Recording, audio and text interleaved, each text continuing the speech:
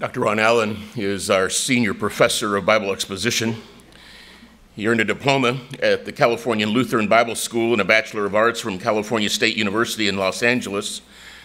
Did a THM as well as a THD uh, before we changed it to a PhD uh, here at Dallas Theological Seminary. And in addition to uh, his teaching responsibilities, he's been very involved as a guest professor and lecturer in a number of North American and overseas schools. He preaches across the country. He leads tours to Israel, Turkey, and Greece. He's been a theological consultant for Maranatha Music.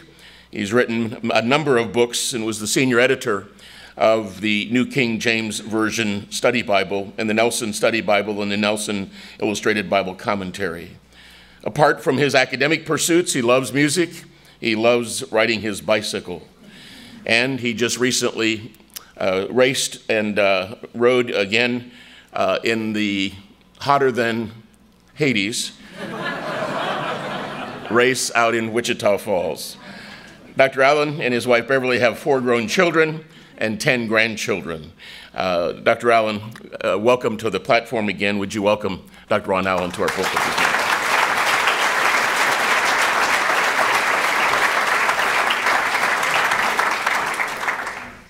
You'd think the president of Dallas Seminary would not have trouble saying the word hell.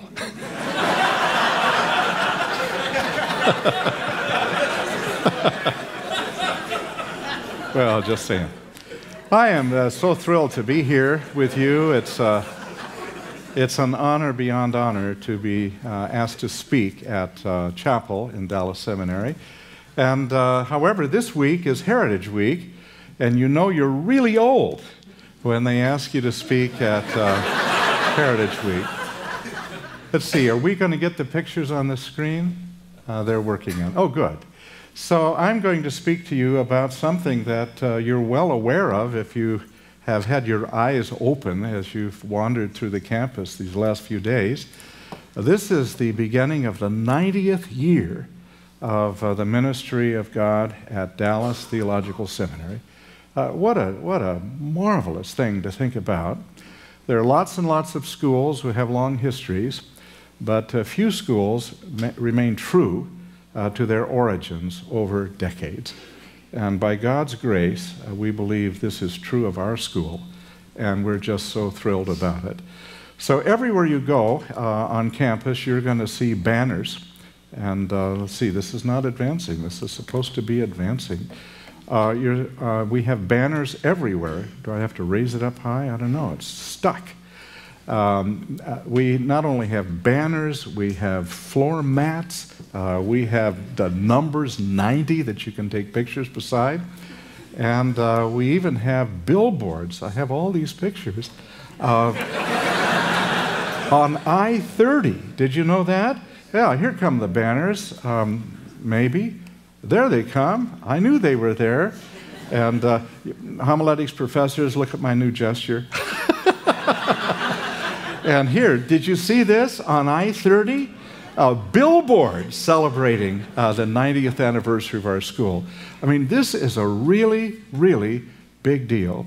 And while I'm talking about this, the president is thinking, well, that's nothing compared to 10 years from now, uh, toward which plans are being made um, and um, uh, we're celebrating in, in advance. The uh, celebrative issue of Kindred Spirit uh, has uh, uh, 90 on it as well. Well, in addition to um, 90 years of Dallas Seminary, um, this is a year where numbers are really important in my life. Um, yeah, this past weekend, uh, Dr. Bailey said, I was in Wichita Falls this is the 19th year in a row I've been in Wichita Falls for that uh, bicycling weekend. And for 19 years in a row, on the same weekend, I preached at Grace Church, a church that uh, is pastored by uh, Dallas Seminary graduates and uh, has had, um, this church has had remarkable blessing from God. Dr. Tom Rogers and uh, Pastor Reggie Cole have become very dear friends. So, uh, this is also the beginning of my 20th year teaching here at Dallas Seminary. Um, but uh, the big number for me is the number 50 because it was 50 years and two weeks ago that my wife Beverly and I first came to Dallas Seminary for me to begin classes here. So um, some of you stood, and you're brand new, and uh, I was brand new once as well. but it was 50 years ago. I can hardly believe that. Uh, we left from Monterey Park, California, uh, where I, uh, we lived when, we were in, when I was in college. And we got a U-Haul and filled it with all our worldly possessions. And uh, the plan was uh, we would ride in the cab of the U-Haul and tow our car. Uh, but what happened is I did a test ride around the block, and the add-on uh, tow bar snapped off uh, in the first block. So I called my sister Peggy, and she agreed to, to drive with my wife Beverly and our one year old baby girl in the car, and I would drive the U Haul. And so we set across country, deciding to drive at night. Uh, it's not only hot in Dallas, it's hot in Arizona in August, and uh, the Mojave Desert. So we drove at night. And I remember one night in West Texas, it was three in the morning, and uh, I was driving this uh, U-Haul at 55 mile an hour governor on it. And so Bev didn't drive with me. She says, that's too slow. so she'd leave two hours later from wherever we stayed, and, and my, my vision was going. And, oh no, I'm coming to Dallas Seminary. I- I'm going to need eyes, Lord. and gradually, over a couple of hours, I, I, was, I was having a harder and harder time seeing anything. And then finally, I was in pitch dark. And I realized it wasn't my eyes, but the generator was gone in the truck. and the headlamps were off. so I drove in the dark to a garage, and he, he uh, put a charge on my battery, and um, then I stood on the road to see if I could find my car that Beverly's driving, my 60 Studebaker Dodge Lark. Oh, oh, what? I wrote the wrong name. Oh, that's terrible. It's a 60 Studebaker Lark. Uh, that's really dumb. 60, 60 Studebaker Lark. And um, so Bev uh, and I, we decided we have to drive in the day, the last day. My sister fell asleep at the wheel, drove into a field, picked up a rock, it uh, went through the radiator, messed up the, uh, the fan. And we spent much of a day in Baird, Texas, east of Abilene, as the car was being repaired and the truck was being charged. And finally, finally we made it to Dallas. It was 9:30 at night, and I knew it had been hot during the day. This is long before air conditioning was common in cars. But it was 9:30 and I'm from Southern California. And no matter how hot it is during the day, it always cools off at night. We got out of the car at Live Oak at the Travel Lodge, a hotel that uh, Dr. Bailey uh, later called when it was under poor management, Roach Hotel. We've since demolished that, and we have a parking lot there. But um, back in those days, that was a respectable place. But I got out of the car, and it was 180 degrees outside, or something. Well, you know, you just got here yourselves, some of you. And I couldn't believe it. But the next morning, we got up and we came across, you couldn't see the seminary from Live Oak in those days. We crossed over on Apple, and then we saw it Dallas Theological Seminary. The buildings that you see today that were there then are all in Armageddon zone. Uh, those are the three buildings of the quad uh, that was never finished Stearns Hall, and uh, uh the Armstrong Hall, and Mosher only library, and the chapel. But those were the buildings, and they were made of gold. And the leaded windows were studded with diamonds. and all the fixtures were solid silver. We were at Dallas Theological Seminary. And I was so excited I couldn't believe it. I still have the catalog from that first year. And I've gone over the list of my fellow classmates last night in prayer as I looked at them. There were 84 of us, and at that time the student body numbered 331, and tuition, hold on to your Birkenstocks, was $10 an hour.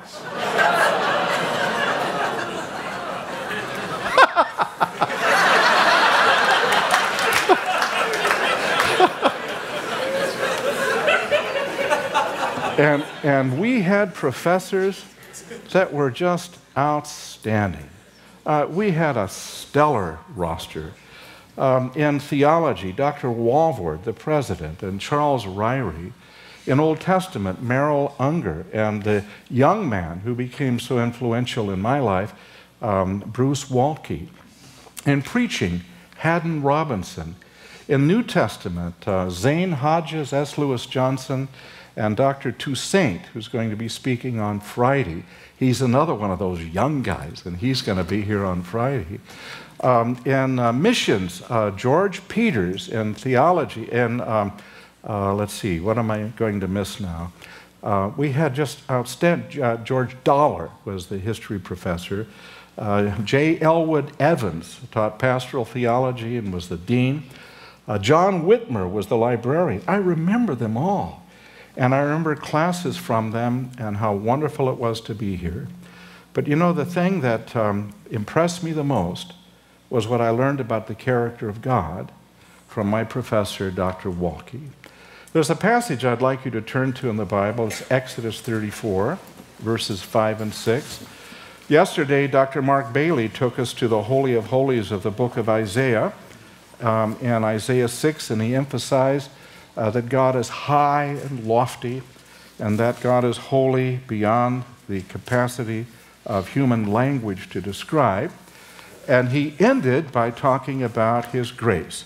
And what I want to focus on as a follow up to that message, I see these in tandem, is the grace of God that is shown um, to Moses in what I regard to be the single most important passage of the self revelation of God, Exodus 34, verses 5 and 6. This is where Moses was hidden in the cleft of the rock. Chapter 32 is where the saved community committed horrible sin by worshiping at the golden calf. Chapter 33, Moses, separated from the congregation, had visitations from God that from a distance looked as though there were a pillar of a cloud. There was a pillar of a cloud, but up close, only Moses was close. He saw fingers and, and uh, hands and toes and feet and face, and he talked to the Lord as one would talk to a friend. And, but from a distance, it looked like a shimmery, uh, ethereal, standing pillar cloud. And Moses said, I want to know more of your glory. I want to experience more. Moses, what are you thinking? And uh, God says, um, you see more, you'll die. Well, I don't want to die, but I want to see more. So on the mountain, chapter 34, we read these words.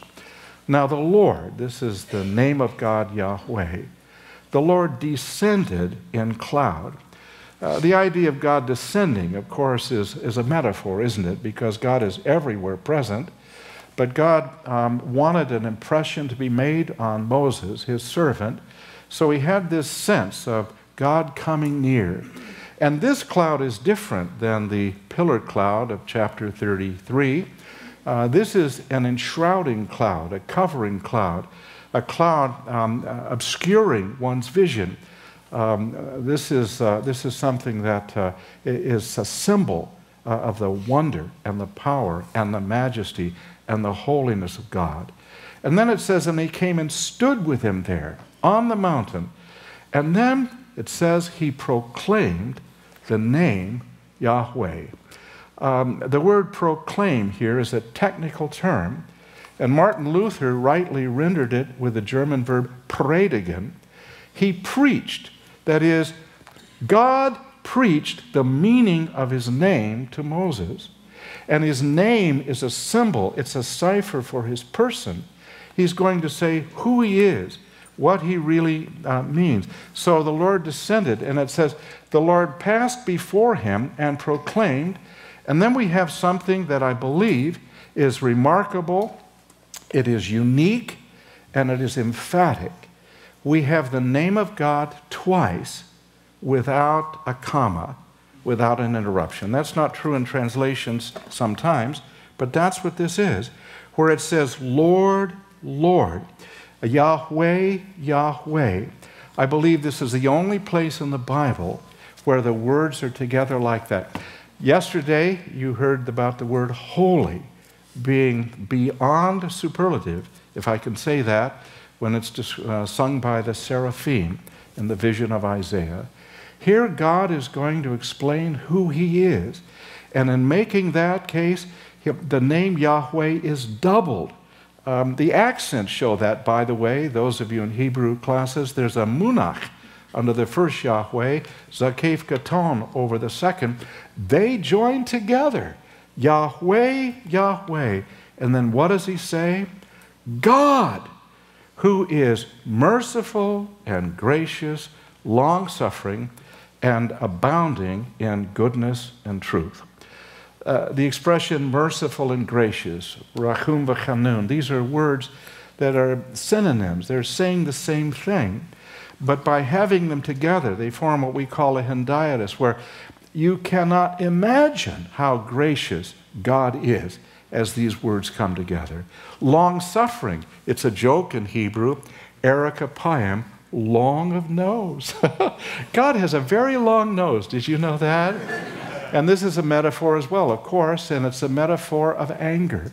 That ordinarily it takes a person a long time for his nose to get red with anger. God's nose is so long. You wonder, will he ever get angry? Well, he does, but it isn't at the drop of a hat.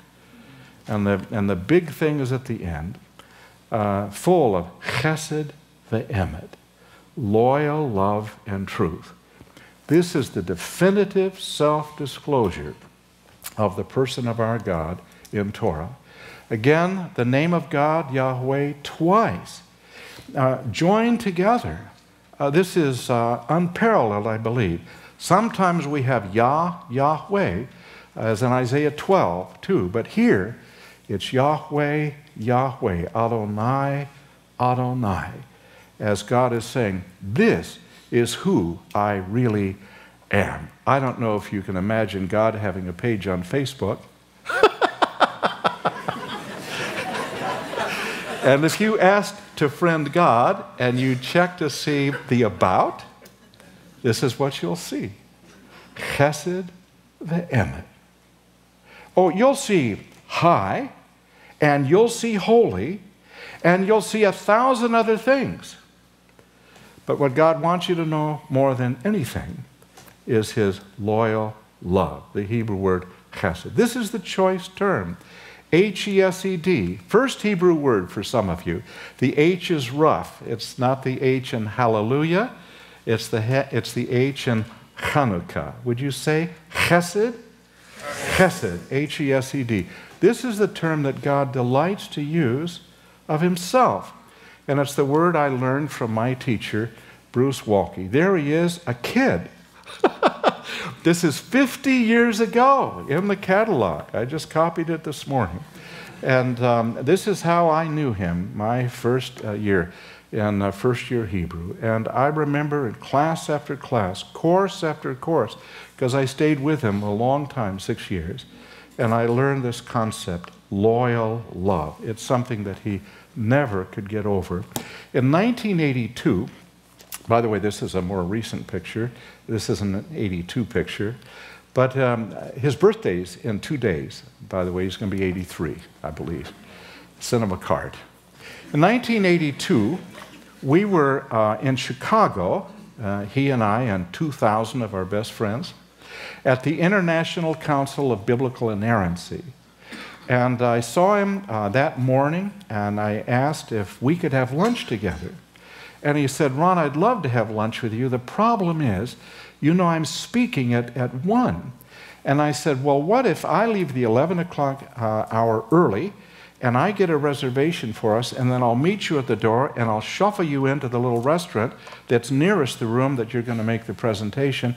We'll be the first served. And he says, Well, that'll be great. So that's what I did. I met him at the door, and we went into the restaurant where I made a reservation. We were the first table seated, and we were promptly forgotten, absolutely ignored. They had brought, the water was on the table, heavy menus, the great big placards, they were there but um, we were ignored. And he was getting nervous. He's thinking, you know, I, I, I, have to have something before one. And I saw a waitress three tables over, and I took this huge menu, and um, I, I thought I'd get her attention. I said, Miss, that's what I said, but I didn't. I didn't miss at all. I hit. I hit his water goblet, big one, right into his lap.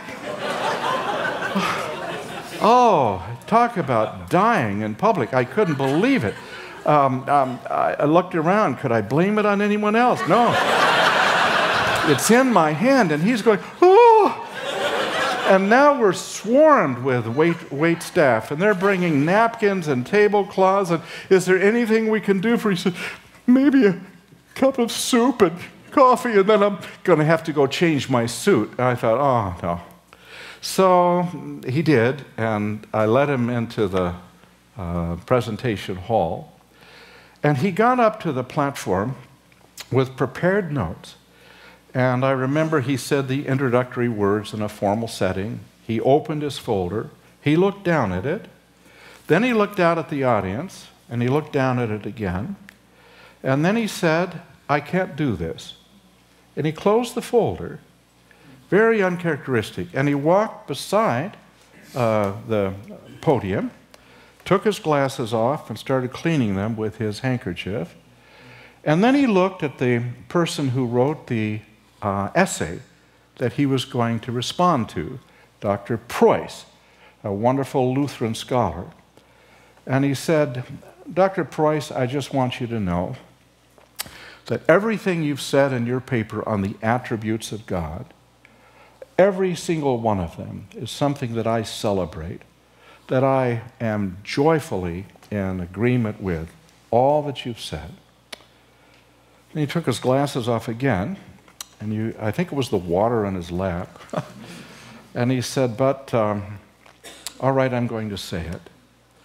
You missed the most important thing. Imagine that? He said, You've said nothing about chesed. And then for 20 minutes or so, he spoke extemporaneously on the significance of this word and how it's the defining word about the character of God. It was something I'll never forget. I thought he would never forget me spilling water on him. The next year, we were in Boston, ETS meeting, and I saw him registering, and I came up after he had finished, and I said, Would you care to have dinner tonight? he says, Ron, I'd love to. I don't have any other plan. That'd be great. And I said, Well, I thought you'd never want to eat with me again. He said, Why, why did you say that? I said, Well, remember last year in Chicago when I spilled the water on your lap? And he looked at me and says, Was that you?